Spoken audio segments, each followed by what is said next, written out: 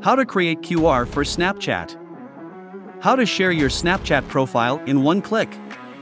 Do it with QR codes. Use MEQR generator to create QR code for your Snapchat link.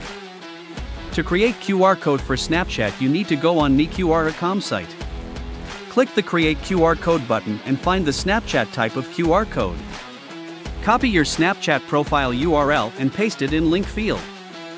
Press Customize and Download QR button and add some design to your QR code.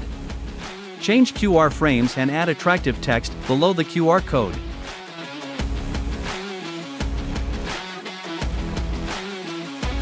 Change pattern and corner style and upload your own logo or choose existing. Save your QR code with the help of the Download QR Code button. You can always change your QR code on your QR codes page. Find your created QR code by type filter and change its design by adding a new color or pattern to your QR code.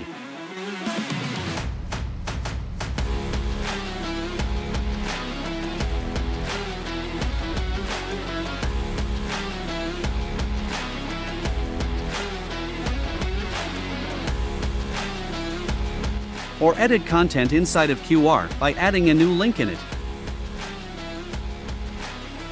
You can also set unique scans limit for your QR code or set a limit for content access.